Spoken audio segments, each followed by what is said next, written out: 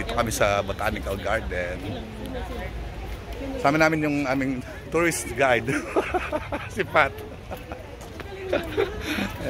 Sa Botanical to, guys. Ayan, oh. Alright. Ayan.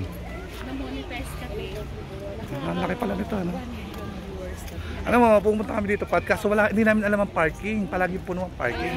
Ah, hindi kami nakakapunta. Kami makapunta. Oo nga, ang ganda, no? Ay, ito, ay, oo, ang ganda, no? Mm, no? Ay, subscriber. Ano? Pat. Kaya naging vlogger. Oo, oh, kung gusto, kung gusto niyo madali naman. Gawin lang niyo, yun, parang normal lang. Parang ganyan lang. Normal lang, kung saan kayo pupunta. Kung saan kayo pupunta, sabihin lang niyo yung ginagawa niyo. Parang ganun, tapos post lang ninyo. Wala, wala lang copyright, copyright yung mga kanta. Tsaka bawal bata, bawal yung bastos, bawal yung ano. Mga ganun lang. Ano lang kanta, hindi pwede.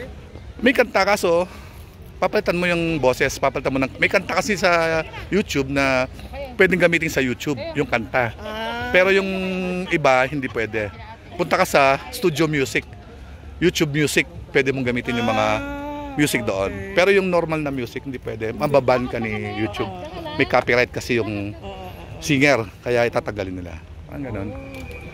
Yun. Yan, dito po kami sa Botanical. Alright.